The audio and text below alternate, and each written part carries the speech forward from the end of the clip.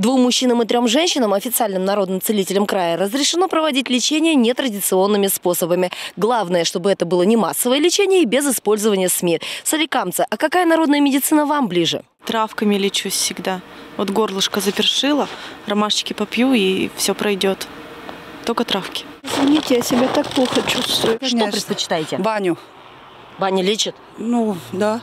На ноги поднимает? Ну да, и травки очень хорошо помогают. Мед прежде всего, также редьку, ну и другие различные. Кто что посоветует, друзья, знакомые. Я отвары делаю. Это у меня это колган, корень. Ну, и считаю, что меньше таблеток пить всяких разных, потому что все равно химия. Какая народная медицина вам ближе всего? Бабушкина, которая она лечит. Что бабушка советует?